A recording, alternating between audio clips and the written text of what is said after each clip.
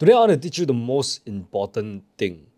When I finally understood this concept, trading became extremely easy because once you understand this, you will know where the market is going to go next. And this concept is called order flow. So order flow is basically where the orders are flowing. So we all know how the banks are controlled by the smart money, the big banks, the financial institutions, the hedge funds, basically all the people with a lot, a lot of money, a lot of capital, right? They are the people who have the power to move the market. Unlike us retail traders, we are just small fishers in these big oceans. They are the sharks, right? They can eat us alive if they want. And at the end of the day, just remember that the forex market is a trillion dollars market. So even if you trade with a million dollars, it's not gonna move the market much, all right? Ultimately, it's all the big banks that are controlling it, all the smart money. So order flow allow us to understand how or where the smart money are trading. So if you can understand the market participants' behavior, you pretty much got the cheat codes to the markets. And like I said, how we can understand how the banks are trading is through this concept called order flow. So order flow is basically like your market structure. You know how in a downtrend, price will just not just like go down straight, right? It will go down, retrace a little bit, go down, retrace a little bit, creating your lower high, lower low, lower high, and lower low. So your swing lows, your swing highs, right? So there's orders at this swing low, there's orders at this swing high, and then swing low again, and then swing high. Right, there are orders at around all these levels over here. Now, this is what we call the external market structure, right? The higher time frame structure. So on the daily time frame or the four hour time frame, you most likely look like this, right? You can clearly identify the lower highs, lower lows. But if you go down to the lower time frames, you'll be able to see the internal structure. So the internal structure could be, like you can see, after price did this huge down move, it's to start retracing a little bit, creating your little mini uptrend before price create a new lower high before price goes down even further and then the same thing repeat itself so on and so forth. This is your internal structure. Now in this example the higher time frame market structure is downtrend so the order flow is bearish. But if you go to the lower time frame like maybe the one hour or even the 15 minute time frame you will start to see like those little small retracements small little uptrend like this right? So the internal structure is uptrend, the internal structure is bullish. And this is exactly why a lot of you guys get confused when it comes down to market structure. You guys see this small little uptrend, small little retracement, and you think that the market is reversing and is heading back up, right? No, because you guys must understand order flow, understand market structure. So how you can trade this is that you can wait for price to get to a premium pricing, which is somewhere right around here at the last lower high and then there's also like somewhat of a supply zone around this area here. So you wait for price to get to a medium zone. I can just put down my medium right here. You can see like somewhere right around this zone is the premium zone right? You wait for price to get into this premium zone and also get to this supply zone area that we have right here so now is where we combine everything that we have learned, right? Like your smart money concepts when it comes to premium and discount, and also your supply and demand zones. So like I said, you want to wait for price to get to a premium pricing and into areas of supply. And you want to wait for an order flow realignment, which is the internal structure to realign with the overall external structure, right? So right now it's still an uptrend, so it's not aligned with the overall downtrend, right? So right here, we want to see some sort of break of structure that show us that, you know what, this little uptrend, this little retracement is done and price is going to continue to go down, continue to go down and aligning itself to this overall external market structure, this overall downtrend. Then you can take the trade out of this supply zone right here. And you can place a stop loss above this supply zone. And then for first take profit, you can target your internal low somewhere right around here. And then the second take profit, you can take it all the way down to the external low, which is down here.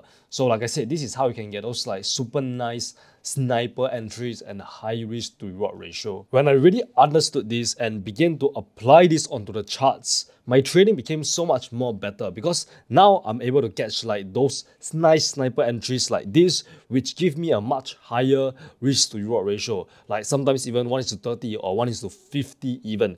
And there are people using this same strategy catching 1 is to 100 entries, right? Which is crazy. And how they do that is by doing the same thing, but instead of entering on maybe the 15 minute time frame, they go down to the 1 minute time frame, the smallest time frame, and really look for that nice sniper entry, like and enter before the liquidity, before the order flow comes in. That is how they can get those like 1 is to 100 entries like this. You can see if you go down to the 1 minute time frame, you can have like a 5 pip or 10 pip stop loss or something, and you can see the risk to reward ratio just insane. Now, once again, like I said, the order flow will look something like this. This is the external structure. Price is creating our higher highs and higher lows. But within these higher highs and higher lows, there's gonna be like small little internal structure ideas. You see price creating small little high highs, higher lows, and then it starts reversing, creating your lower highs, lower lows, so a little downtrend here, and then back to uptrend, and then keep on going up, and then downtrend, and then so on and so forth, right? So these are your internal structure, right? Your internal structure we show you that, okay, there is downtrend, there is downtrend. So our job here is basically to wait for the internal structure to align with the external structure, wait for the small lower time frame trend to align with the higher time frame trend. Then that is when we take the trade. So right here, you can see price is just creating your internal structure retracement, right? So at this point of time, we should not be entering anywhere in this down move. You do not want to sell in an uptrend. You want to buy in an uptrend, right? You want to trade with the trend. So we want to wait for this retracement to be done.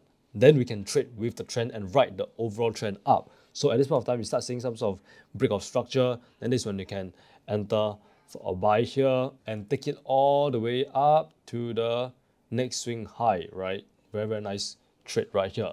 So now let's go into the charts and apply whatever we just learned so far. So you can see right now we are on the daily time frame and we can clearly see that price is in a downtrend right now. So the over the order flow is bearish, right? The order flow is bearish because price is creating your lower highs, lower lows, lower highs, and lower lows. So order flow bearish and we should be looking to sell. So the higher time frame trend, the external structure is showing us that price is bearish and it's in the downtrend. But if you go to maybe let's say the four hour time frame, you will actually start to see that price is actually creating your higher highs and higher lows. So this, ladies and gentlemen, is your internal structure, right? And we do not want to be buying in a downtrend. We want to sell in the downtrend, but price is in a little uptrend on this internal structure right now.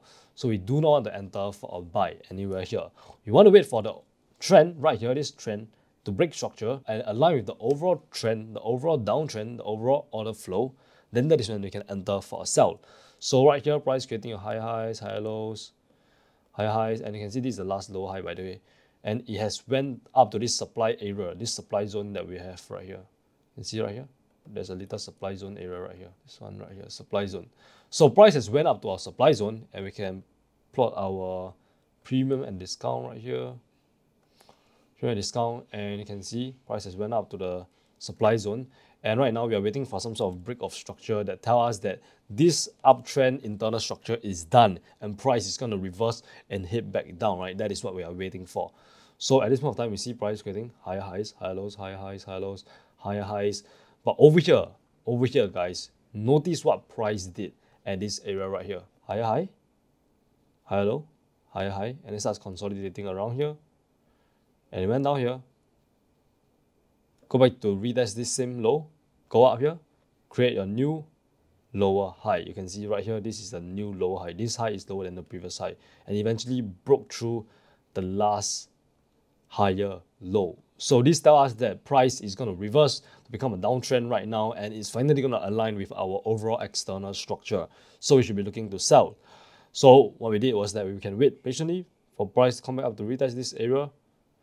And then over here, somewhere right around here, that is when we can enter for a sell position. And this swing, that's this new lower high, right? And I'll place my stop loss above this new lower high. And in this example, what I can even do is go down to the 15 minute time frame to get your nice entry.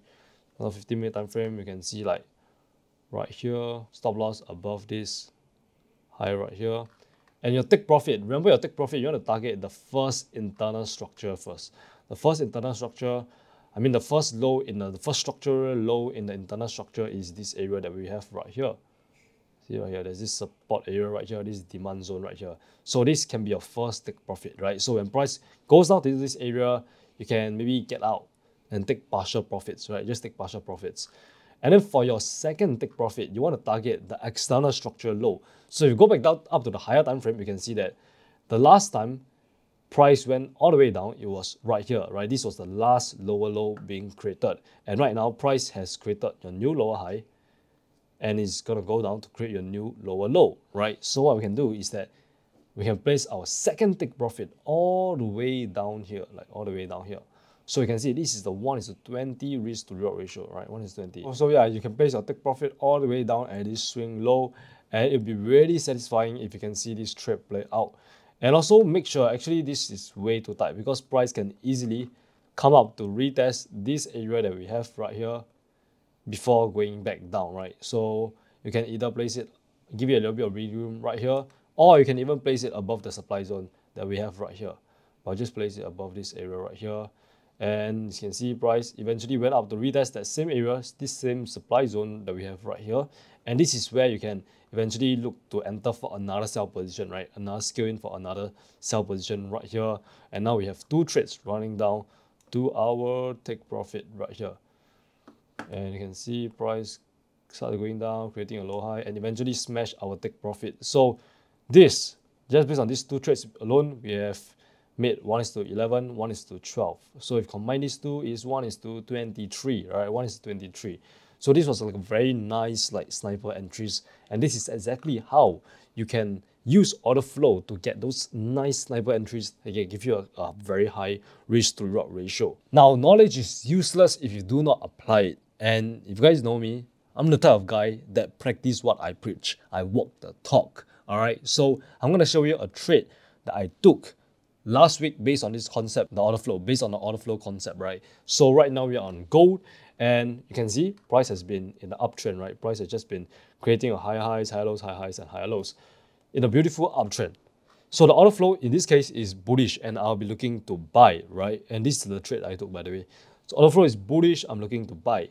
But last week, I remember somewhere right around last week, price was giving us this downtrend right here, right? Price started to retrace, it's like making its retracement. So I plot out my huge Fibonacci and I figured that price will retrace to either of these retracement levels that we have drawn right here. So what I did was that I was waiting for price to show me that this retracement, this internal structure is going to be over, right? And price is going to align to the overall structure with this uptrend.